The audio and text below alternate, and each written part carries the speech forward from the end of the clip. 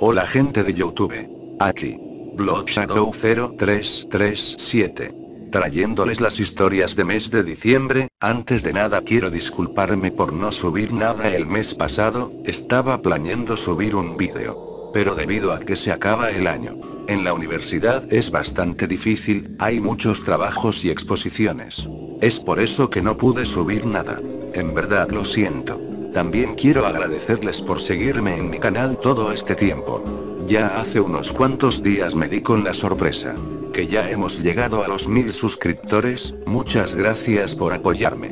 Bueno sigamos con las historias. Lindo placer. Buenas tardes chicos, esta es la primera creepy que subo, espero que les guste y me gustaría pudieran darme su crítica. Dentro de la misma utilizo en algunas partes un lenguaje soez. Déjame decirte algo, maldito hijo de puta, ¿crees acaso que con una simple disculpa ya todo estará bien? ¿Ah? ¿Acaso lo crees? No espera ahí. Simplemente lo golpeó tantas veces que Pedro quedó inconsciente. Al despertarme esta mañana todo fue sumamente confuso, todo se teñía de un fúnebre color blanco, a los lados de mi cama se encontraban unas cortinas blancas como casi todo lo demás. Me incomodó demasiado ese hecho, ¿dónde rayos me encontraba? Así que mi primer impulso fue moverme de allí, cosa que después lamenté al darme cuenta de que una de mis piernas simplemente no estaba, ¿cómo era posible tal cosa? Apenas hacía unas horas me había ido a dormir, y ahora resultaba que no tenía una pierna. En el estado histérico que estaba no percibí totalmente el lugar en el que me encontraba, solo me limité a contemplar con pavor mi faltante pierna, después de superar momentáneamente el shock me di cuenta de que algo estaba dentro de mi piel y así sumando a toda esa desesperación, me encontré rodeado de mi mayor temor, agujas alrededor de mi cuerpo, suministrando lo que creo que es suero. Solo me quedé en shock, allí llegó un enfermero. El paciente ha colapsado. Está en shock. Déjalo allí, si sobrevive, bien, si no únicamente será uno más, como si no fueran comunes los accidentes vehiculares y en caso de que muera, inventa algo, un paro respiratorio, o un paro cardíaco creo que igual funcionaría, bueno tengo cosas que hacer. Por fin recobre la conciencia, ahora pareciera que un hombre me llevara a algún lugar, ya con todo lo que vi, podría decir que eso era un hospital, así que seguro eso era una camilla. Ya se ha despertado, creo que deberé llevarlo a otro lugar, este no es el indicado para usted. ¿A dónde me llevas? Pues ahora tendré que llevarlo a la sala de recuperación, después le evaluaremos y podremos darle el alta. ¿Pero el alta de qué? Usted sufrió un accidente automovilístico, ¿acaso no lo recuerda? Yo no recordaba tener siquiera un automóvil. No recuerdo ningún accidente, yo no tengo automóvil. Usted era el acompañante, y estaban ebrios, tal vez por ello no recuerde nada. ¿Con quién iba en ese automóvil? Lo único que encontramos fue una identificación a nombre de Oscar Suárez Flores, parece que se dio a la fuga. Lo intentó localizar la policía PEA pero el domicilio de su identificación ya no existe, fue demolido. Las horas pasaban exhaustivamente, lo único que quería era largarme de allí y por fin poder ir a buscar a ese sujeto, quería saber qué había pasado ese día realmente y sabía que nadie me lo diría así como así. Lo único que quedaba era recuperarme y, Señor Pedro Rodríguez Álvarez pedimos autorización para retirar dinero de su cuenta bancaria para comprar unas muletas ya que por el momento no hay prótesis disponibles. Está bien Álvaro. ¿Cuándo podré irme de aquí?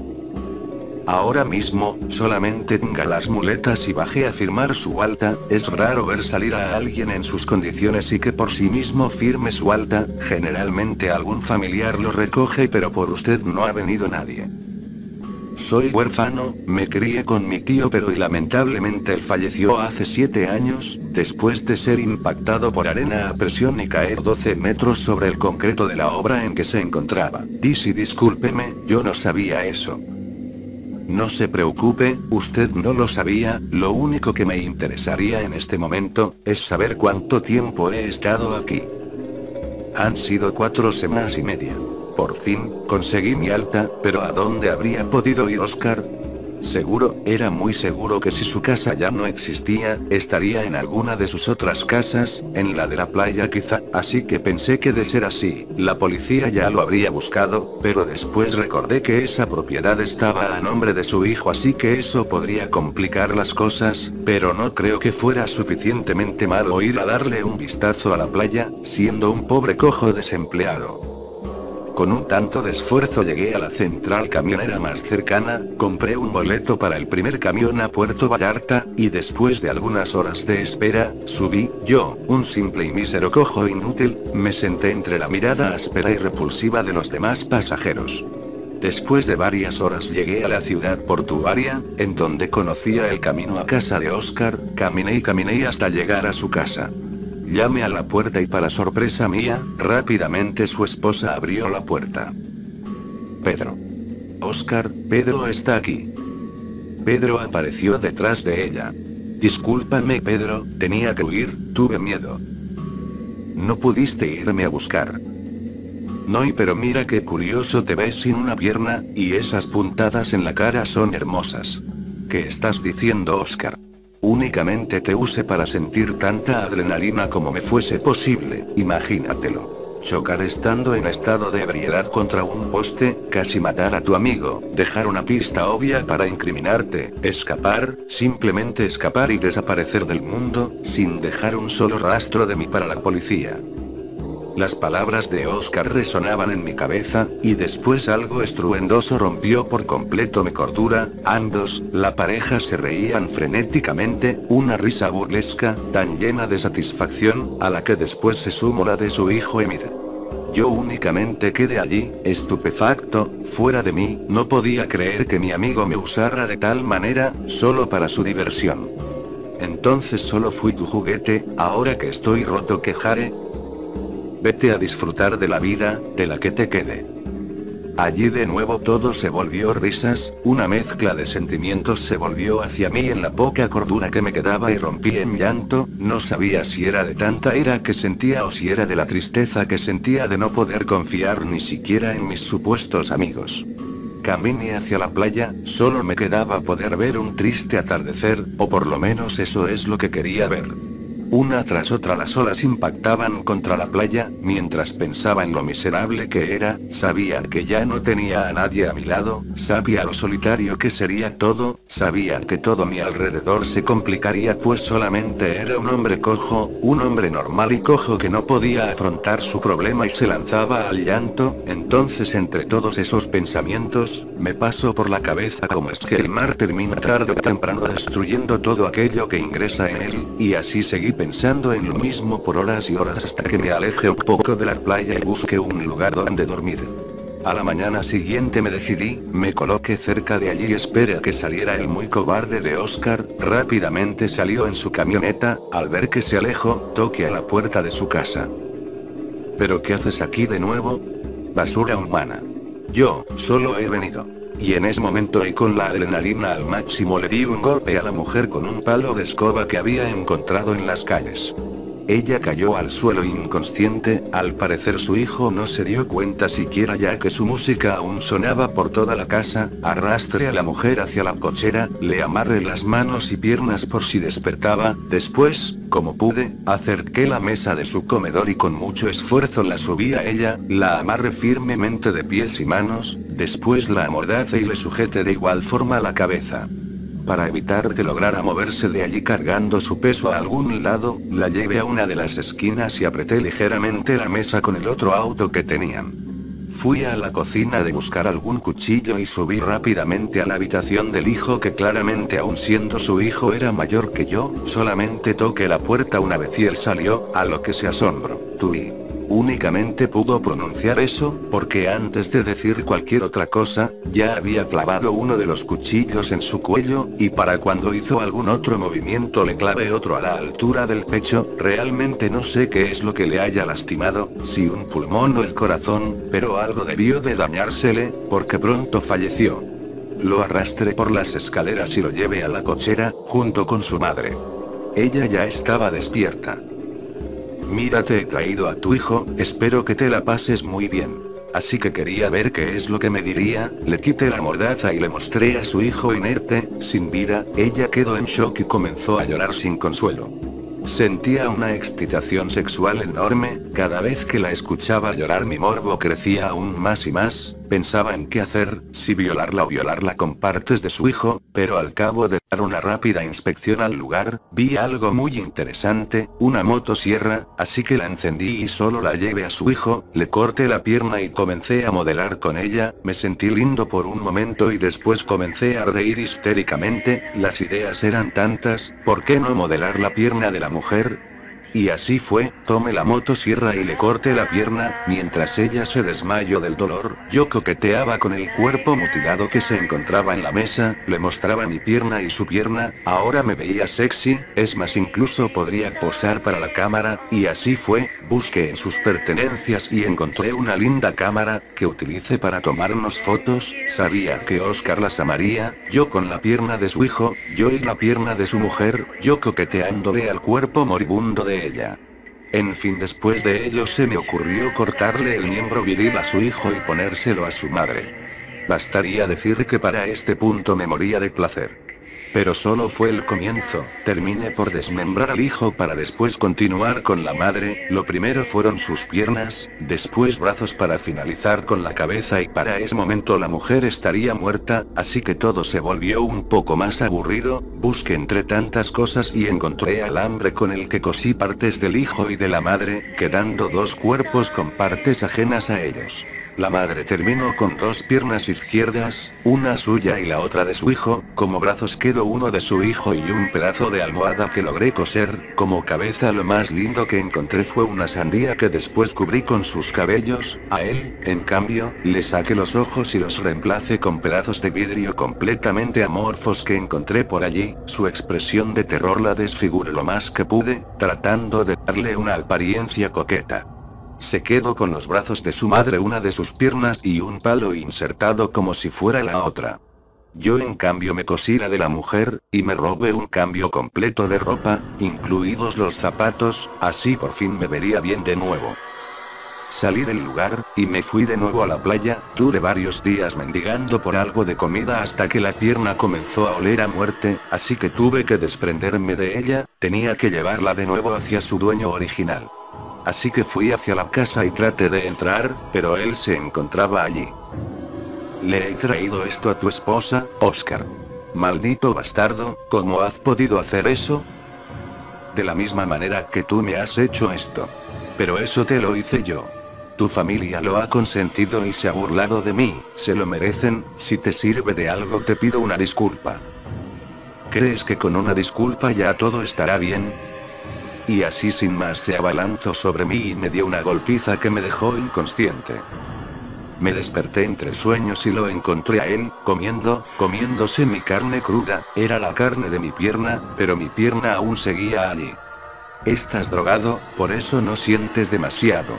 Alguien me estaba comiendo vivo y yo no podía hacer nada, simplemente estaba amarrado a una mesa, drogado y dándole el consentimiento de que lo hiciera, por una vez en mucho tiempo me sentí útil. El placer era tan grande y reconfortante. Siguiente historia. Miedo a mi habitación. Todo sucedió aquella noche mientras dormía, no me había pasado antes, todo estaba bien, al menos hasta esa noche. Empezó el domingo a las 4 am. Me desperté sin motivo alguno, abrí los ojos y miré el reloj, al darme cuenta de la hora me extrañé, luego quise levantarme y cuando intenté hacerlo me di cuenta de que no podía, no podía mover ni un solo músculo, estuve intentándolo un buen rato y al no conseguirlo empecé a asustarme, luego miré a mi costado y vi una sombra. Era la de un niño, mi cuarto es oscuro así que no podía distinguir bien su rostro, pensé que quizá era mi hermano menor pero luego escuché que hablaba, no entendía nada de lo que decía pero estoy seguro de que no era mi hermano, luego empecé a escuchar más voces, se reían como si estuviesen burlándose de mí, asustado cerré los ojos intentando dormir o despertar, en ese momento ya no sabía si era una pesadilla o si era real. Al cabo de un momento dejé de escuchar las voces, tenía miedo de abrir los ojos, pero algo me hacía abrirlos, así que los abrí, y cuando lo hice volví a ver la silueta que luego se dividió en muchas más, logré notar que tenían aspecto de niños vestidos con ropas sucias y rotas, de pronto atrás de ellos aparece una mujer o algo así, solo me miraban y hablaban entre ellos y yo sentía un frío que recorría todo mi cuerpo, no sabía qué hacer y aunque hubiese sabido no habría podido, pues mi cuerpo permanecía inmóvil, sin poder moverse. Me atormentaron durante una hora aproximadamente, luego todo se desvaneció, poco a poco tomé el control de mi cuerpo nuevamente, traté de pensar que todo había sido producto de mi imaginación y que las sombras eran una ilusión óptica generada por la oscuridad, pero las voces, trataba de encontrarle alguna explicación para no sentir miedo. Al cabo de un momento salí de mi cuarto para tomar un vaso de agua, pero al regresar a mi cuarto noté que estaban ahí, ellos volvieron para terminar lo que empezaron y... Hoy decidí contarlo, ya no aguanto más, noche tras noche es un tormento, estoy completamente agobiado, tanto física como psicológicamente tengo miedo a que anochezca, miedo a regresar a ese cuarto. Siguiente historia. Mr. Face. Albert era un niño como todos los demás, por su condición tanto física como económica Albert le practicaban bullying. Cuando era pequeño de no más de dos años de edad le detectaron una terrible enfermedad epilepsia, sus padres desesperados por encontrar una cura, gastaron todos sus ahorros monetarios, quedándose así en una gran quiebra y con innumerosas deudas para pagar. Sin ningún éxito por poder curar esta enfermedad Albert tuvo que vivir con episodios de epilepsia durante toda su vida. Sus padres a los pocos años del nacimiento del niño se separaron, quedando con la custodia la madre del infante, que tan sacrificada tuvo que trabajar de varios empleos para poder llevar el pan diario a la boca de Albert, por falta de dinero tuvo que estudiar en una escuela pública, con todas las dificultades que tenía para poder llevar a cabo un estudio permanente, aún así él era un adolescente sumamente destacado en todas las materias, ejemplar para todos los alumnos, por eso y muchas cosas más era el centro de atención, tanto para los alumnos como para los maestros, en unas dos o tres ocasiones, los episodios de epilepsia se hicieron presentes, esto ocasionó muchas burlas de parte de sus compañeros, comenzando con una inofensiva broma de adolescentes que las maestras no tomaban mucha importancia, empezando a pegarlo, mojarlo con el agua del inodoro, haciéndole comer las heces fecales de perros que se encontraban tiradas en los patios de la escuela, etc. Como los maestros no tomaban cartas en el asunto, por más de que los compañeros les decían lo que estaba pasando con Albert, el bullying se hacía cada vez más intenso y persistente hasta llegar a la etapa final. Un día como cualquier otro a Albert le tocaba la clase de química, además de eso tenían un laboratorio muy significante, que representaba la mitad de la nota final, como en todas las clases de química que les tocaba laboratorio tenían que llevar un guardapolvo, como siempre el adolescente tan responsable como siempre tenía todo listo, Roberto, el líder de la banda que le hacían bullying no era para nada aplicado y estaba por perder el año, y se olvidó llevar el guardapolvo, pidiéndole a Albert que le diera su guardapolvo para que pueda entrar al laboratorio, Albert negándose rotundamente, por amenazarlo Robert le mostró un pequeño frasco, diciéndole que en su interior tenía ácido sulfúrico, y que si no le daba le echaría todo su contenido en la cara, forcejeando el guardapolvo para que no le quitaran. Roberto destapó el frasco y le echó todo su contenido en la cara, Albert soltó de un tirón el guardapolvo al sentir como ese líquido carcomía su piel, cayó encima de demasiados frascos que tenían un líquido en su contenido, incrustándose partes de vidrio roto en todo su cuerpo, quedando totalmente inconsciente. Roberto, con una gran mueca de miedo, miró a sus amigos y con una gran orden les dijo que lo alzaran para luego llevarlo a un basurero donde según ellos se desharían del cuerpo de Albert. Despierto con el dolor más agudo que jamás sentí, veo oscuridad, hay un olor pestilente dentro de este lugar donde estoy. ¿Cómo llegué aquí? Puedo ver como un haz de luz entra por una abertura, escucho el sonido de las moscas volando alrededor mío, me siento bruscamente y me golpeo la cabeza, esto se puede destapar, pensé, así que sin pensarlo dos veces coloqué mis manos y empecé a hacer fuerza hasta que esa tapa cayera, pude ver el arrido panorama que tenía frente mío, esto es un basurero pensé, me levanté como pude y comencé a caminar, miro alrededor mío y veo una bolsa, abro para ver su contenido y estaba ahí un smoke y a su lado un sombrero del mismo color que este, negro. Camina tan solo y con la cara deformada por toda la noche, en el día se esconde en una pequeña choza en el bosque, sus víctimas según la leyenda dice, escuchan una canción irreconocible, prominente de nadie sabe dónde, de Shine of the Moon, Illuminateis face deforme, where is? Eis Neriu, Ewikatchiu, ve atentive, Eis Eis Las víctimas victoriosas que pudieron escapar de sus agarres dicen que cada vez que está más cerca la canción más fuerte se hace hasta que es inaudible en un punto.